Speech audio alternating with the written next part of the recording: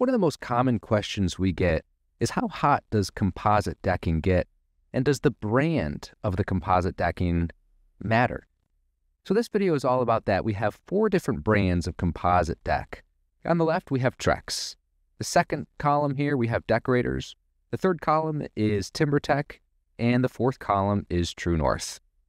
This video is all going to be about uh, checking with an uh, infrared gun on the temperature differences between the different brands of composite decking.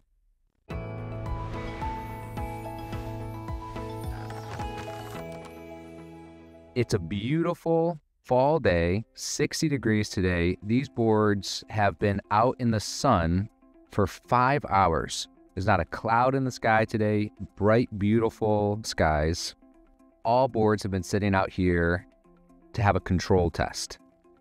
I will spoil alert here is, is that it doesn't come down to the brand of composite decking. It comes down to the shade. If you have if you pick a darker color for your deck, naturally it's going to feel a little warmer. If you pick a lighter color, it's going to feel a little cooler. If you're not a barefoot walker on your deck, the concept of how hot their composite deck could get is less significant for those that may walk around on your deck barefoot, have more direct sun than um, uh, less landscaping, maybe less uh, sun cover, or if you have dogs with uh, that go out on your deck uh, and it's a, a direct sun, I would suggest a more cooler color to your composite deck. But we're going to dive into this a little deeper with an infrared temperature gun and check each brand of composite decking and compare them one to the other. Now, naturally, each brand, each manufacturer has slightly different colors, so I've done my best to try to match up similar colors, like colors, from one brand to the next. It's not going to be perfect, but it's going to be the closest that we can do from one brand to the next. So again, the left column, we have Trex. The second column, we have Deckorators. The third column is TimberTech and the fourth column is TruNorth. Trex and TimberTech, the first and the third columns here, is a wood plastic composite material.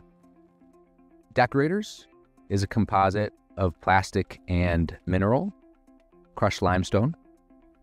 And TruNorth, that last column, is uh, a rice hull base composite deck board. So let's dive into it. You will notice that there are uh, two outliers here on the top and one outlier on the bottom. This outlier uh, from uh, TimberTech was just a little darker than the rest. And then the two up there, Deckorators and TimberTech, were a little lighter than the rest. We'll still stick an infrared gun on them so you can see, um, but they we won't be able to fairly compare those from one brand to the next. I'm going to stay out of the sun here. All right, so we're picking up 74 degrees here. On the Trex, TimberTech, 75. I'm sorry, that was Deckorators. TimberTech, 75. And TruNorth, 74. 76. Next color. Try to get this 74, 73,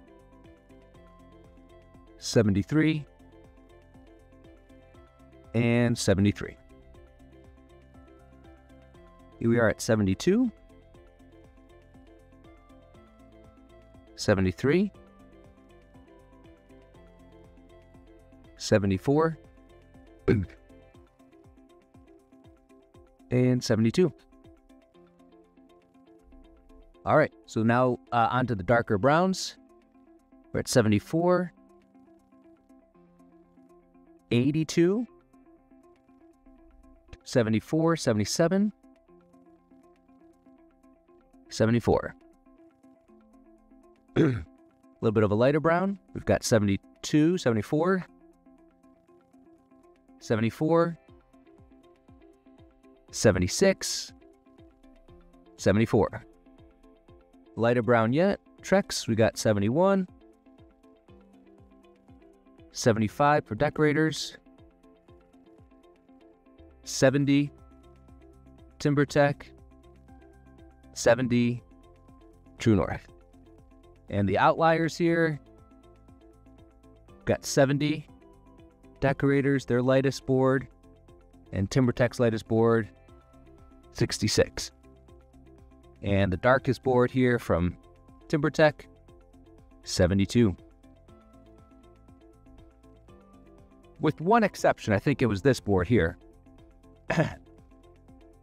With one exception, every other board, as far as we can we can compare as evenly as possible between different manufacturers, the temperature differences between brands were within largely two, maybe three degrees.